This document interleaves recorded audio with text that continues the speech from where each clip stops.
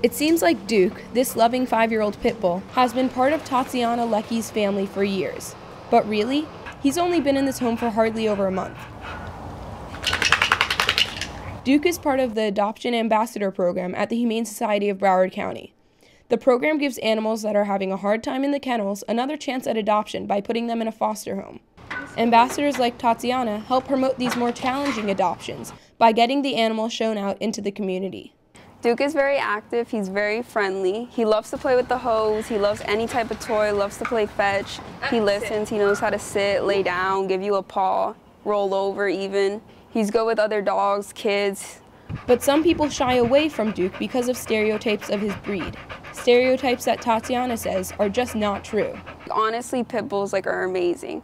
They are the nicest dogs I've ever had. Like, I've had chihuahuas and they're worse than pit bulls. And what about Duke? He's very friendly. Like, he doesn't have a problem with anybody or anything. Like, he doesn't have a problem if someone new comes up. He's very friendly. He's not aggressive whatsoever.